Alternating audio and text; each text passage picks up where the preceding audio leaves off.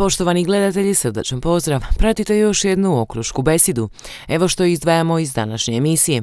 Iako svečana sjednica povodom dana općine nije održana, mjesec dana nakon, zaslužnim pojedincima dodijeljena su javna priznanja općine Okrug za 2021. godinu.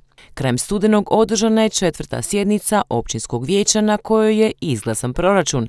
Proračun za 2022. godinu iznosi nešto manje od 29 milijuna kuna. Najzaslužnijim pojedincima općine Okrug za 2021. godinu, točno mjesec dana nakon dana općine, dodijeljena su njihova priznanja. Prvi na red došli su oni najmlađi.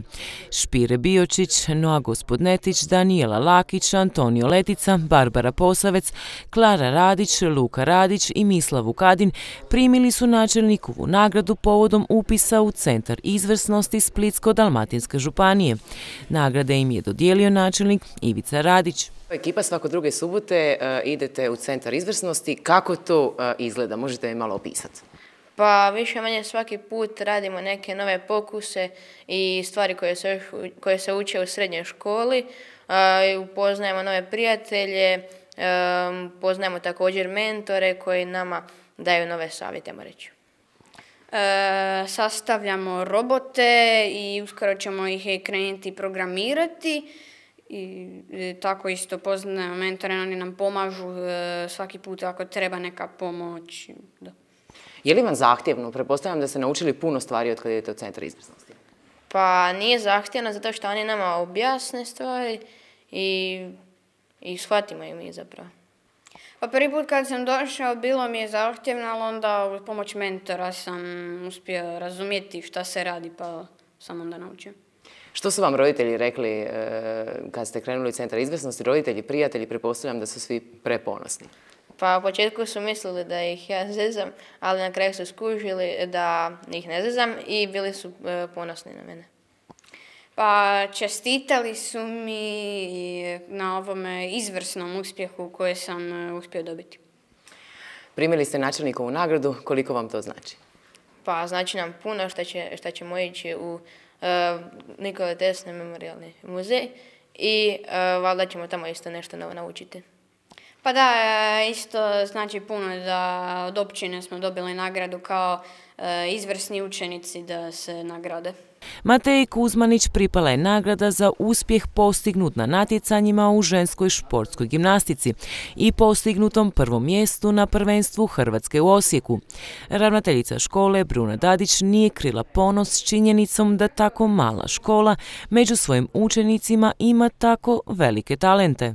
Stvarno je velika stvar. E, škola ima 206 učenika, znači pričamo samo o četiri razreda predmetne nastave, 2.7. i 2.8 i da iz tako malog, to su sve mali razredi, iz tako malog broja djece da uspije osmero djece ostvariti rezultate i ući u centar izvrsnosti je stvarno nije mala stvar. Jedna učenica je pod navodnike ponavljač, prošle godine Barbara Posavec, prošle godine je bila e, isto e, polaznik centra izvrsnosti za područje matematike, ove godine se odlučila na prirodoslovlje i uspjela je u tome, tako da ono, meni je ovo samo dokaz da naša djeca stvarno, čega god da se uhvate, postignu izvrsne rezultate. Tu smo imali djevojčicu Mateu Kuzmanić koja sad već mogu reći da dolazi iz jedne sportske obitelji. Djevojčica je prvakinja Hrvatske u gimnastici, a brat je izrazito uspješan nogometaš Hajduka i evo sad ove mlade reprezentacije, tako da ono, mislim da mi u ovoj školi imamo stvarno dobre temelje.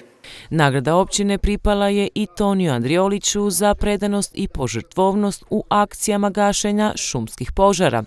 Petri Beljan pripala je nagrada za osvojeno drugo mjesto na međužupanijskom natjecanju iz filozofije, a specijalističkoj ordinaciji obiteljske medicine doktorice Korin Runtić-Vukadin za požrtvovan rad i trud za obavljanje poslova tijekom pandemije.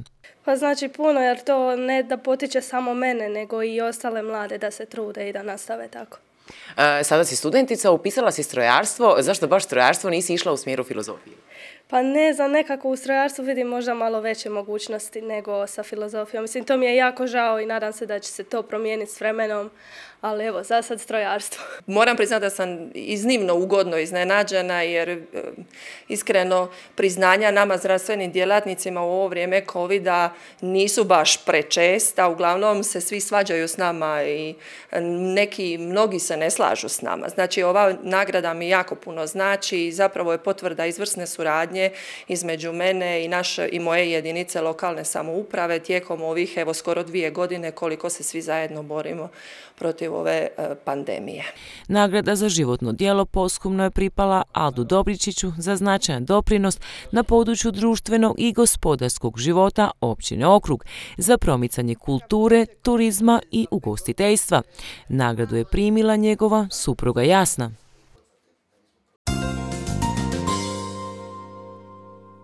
Osim obaveznih COVID potvrda, načelnik općine Okrug uveo je i obavezu testiranja za sve zaposlenike, i cijepljene i necijepljene, jednomjesečno. Necijepljeni koji ne posjeduju COVID potvrdu testiraju se dva puta tjedno. Što se tiče covid mogu samo i moje žitelje upozoriti da bez COVID potvrde se ne može ući u općinu. Općina radi testiranje ponedjeljak, sreda, petak s obzirom i na trgovačka društva, na općinu, na sve. Isto tako napravili smo testiranje svih zaposlenika bez obzira na COVID potvrde. To radimo svaki mjesec. Podjela božićnica umirovljenicima kreće od ponedjeljka 13. prosinca. Božićnica iznosi 300 kuna, te pravo na nju imaju svi umirovljenici s mirovinom do 3200 kuna. Pa evo mojim umirovljenicima božićnica je u vrijednosti 300 kuna. E, isto tako preporuka da moraju poštivati COVID mjere. Dijelit će se od 13. do 17. na dva punkta u općini vezano po abecednom redu, obavijeste na vratima po, kojim e, prezimenima. Jedan, e, punkt će biti uvezan u našu dvoranu koja je u sklopu općine, a drugi će biti doli iz uredskog poslovanja iz prostorije kroz prozor. Evo još jedna preporuka, nek se poštivaju COVID mjere, ljudi dolazu samo sa pokazivanjem osobne karte, oni koji su stekli mirovinu od uskrsa ovu tekuću godinu morat će uz osobnu kartu imati zadnji odrezak svoje mirovine. Oni koji nisu mogućnosti doći, javit će se na telefon, njima ćemo ili komunalni redar donosi doma ili ćemo im preko pošte posla bonove. Znači svi oni koji su zaslužili kao umirovljenici mora napomenuti ponovo da je limit 3200 kuna, znači oni ispod 3200 kuna. Vijećnici su na posljednjoj sjednici općinskog vijeća izglasali proračun u iznosu nešto manjim od 29 milijuna kuna. Što se tiče proračuna, on je izglasan. Izglasan je s apsolutnom većinom nezavisne liste uz potporu predstavnika SDP-a, sad više nije izašao iz SDP-a i predstavnika HNS-a, dok su dvoje e, bili suzdržani predstavnik HSP-a i HDZ-a, a dvoje članova vijeća iz HDZ-a nisu uopće pristupili na sjednici vijeća kad se donosija proračun. Proračun za 2022. godinu je 28 milijuna 840 tisuća. U tom proračunu su najbitniji e, projekti koji se već sad i prenose se iz 21. u 22.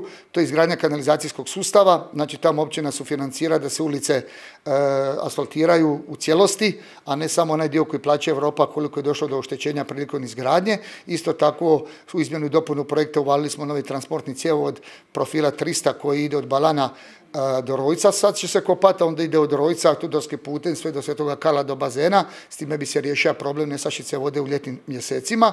Isto tako je bitno da u županijski plan ušao takozvani bypass za otočnu cestu i nadam se da ćemo u 22. godinu zajedno sa nadbiskupijom smo dogovorili izgradnju malog dječjeg igrališta polivalentnog od ispred u dvorištu crkve Isto tako smo, radi, e, smo planirali da se izgradi sortirnica da bi s time riješili, zaokružili no kružni, kružni ciklus vezano za otpad i nadamo se da ćemo uspjeti našim invalidima i gostima koji su invalidi doli u prostoru Lučice napraviti lift za invalide.